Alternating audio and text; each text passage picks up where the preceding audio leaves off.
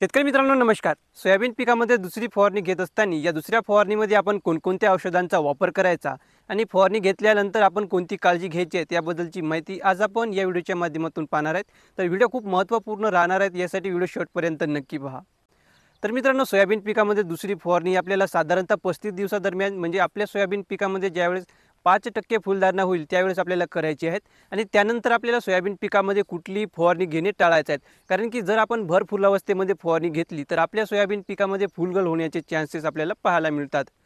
तर या फवारणीमध्ये आपल्याला एक कीटकनाशक घ्यायचं आहे जे की आपल्या सोयाबीन पिकावर दीर्घकाळापर्यंत अळी नियंत्रण करण्यासाठी मदत करेल.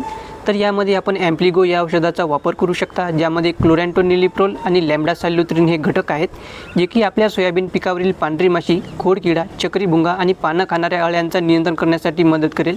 तर ॲम्प्लिगो वापरताना आपल्याला याचं प्रमाण एका एकरासाठी ऐंशी मिली घ्यायचं आहेत किंवा पंधरा लिटरसाठी बारा मिलीप्रमाणे आपण याचा वापर करू शकता. जर आपल्याला ॲम्प्लिगो घ्यायचे नसेल तर याऐवजी मग आपण कोराजन घेऊ शकता प्रोफेनोफॉस घेऊ शकता किंवा इमेमॅक्टिन बेनरेटसुद्धा घेऊ शकता. त्यानंतर सोयाबीन पिकामध्ये चांगली फुलधारणा होण्यासाठी यामध्ये आपल्याला एका टॉनिकचा वापर करायचा आहे. यामध्ये आपण प्रो फ्लोराचा वापर करू शकता. जर आपल्याला हे मिळालं नाही तर याऐवजी मग आपण टाटा बहारचा वापर करू शकता. पंधरा लिटरसाठी चाळीस मिलीने. यामुळे आपल्या सोयाबीन पिकामध्ये चांगली फुलधारणा होण्यासाठी आपल्याला मदत होईल. यासोबत आपल्याला एका चांगल्या पद्धतीचं आंतरप्रवाही बुरशीनाशक घ्यायचं आहे. ज्यामध्ये आपण हेक्झॅकॅनाझॉल म्हणजे कॉन्टॅक्ट प्लसचा वापर करू शकता. पंधरा लिटरसाठी तीस मिलीने. जर आपल्या सोयाबीन पिकाची वाढ भरपूर असेल तर याऐवजी मग आपण टिल्ट म्हणजे प्रोपिकॅनाझॉल या औषधाचा वापर करू शकता. पंधरा लिटरसाठी वीस मिली. यासोबत आपल्याला एक चांगल्या क्वालिटीचं स्टिकर घ्यायचं आहे पंधरा लिटरसाठी पाच मिली जेणेकरून आपण जे काही औषधं फवारली आहेत तर ते पानाला चिपकून राहील. पानामध्ये लवकर सोसल्या जाईल आणि पावसामुळे ते वाहून जाणार नाहीत. आणि आपल्याला फवारणीचे चांगल्या पद्धतीचे रिझल्ट मिळतील. यासाठी आपल्याला या औषधांचा वापर करायचा आहे.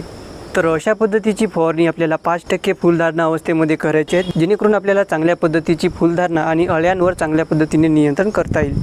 ही माहिती आवडली असेल तर व्हिडिओला लाईक करा. नवीन असाल तर चॅनलला सबस्क्राईब करा. आपले काही प्रश्न असेल तर ते खाली कमेंटमध्ये नक्की सांगा. धन्यवाद.